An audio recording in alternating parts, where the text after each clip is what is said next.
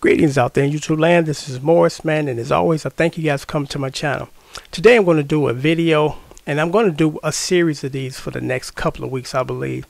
And what they are is, I guess, recognition of people that have passed away over the last 12 months that were musical icons, or just anybody in the music industry.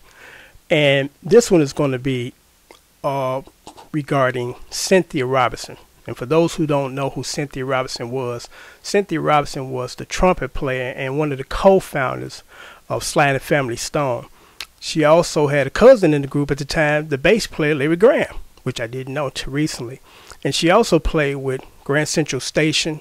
In her later years, she played with George Clinton. She did sessions with Prince. And what's so unique about Cynthia Robinson, who passed away November 23rd of last year at the age of 69. Some people say she was 70, but uh, the the age thing, uh, no one can actually say which is which. And she passed away from cancer. And what to me was unique about Cynthia Robinson during that era, because I can recall as a kid watching these TV shows like uh, uh, the Dick Van Dyke Show and what I noticed as I got older, how women were extremely subservient to the men and they were just basically housewives, you know, and they just kind of followed what the man told them to do, you know. And this is an era when Cynthia Robinson was doing her thing as a woman, strong woman, you know, and, and that's what's so unique about her to me that during that period she was the person that she was. Because if she was performing now in, in her 20s, you know, wouldn't too many people think twice about that. But again, 40 some years ago, a black woman, you know, doing her thing, being a leader, you know, being a, a leader and not a follower.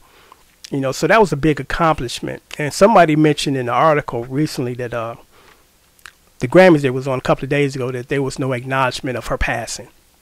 And unfortunately, the media has not given these musical icons the notoriety and the uh, and and you know the what I guess better word notoriety as far as or acknowledgement of their passing because there was no news coverage on Louis Johnson.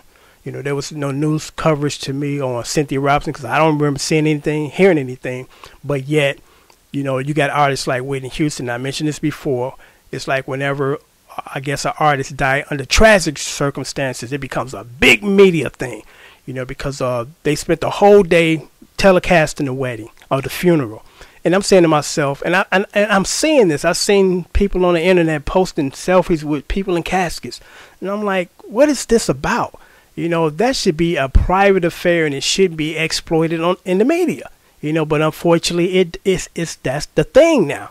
You know, they don't acknowledge the people that died from you know kind of you know almost normal circumstances but you know if you found dead in the tub with, with cocaine in your system it, it becomes a two-day media feast you know. But these other people you know like cynthia robinson no media you know no no no coverage at all.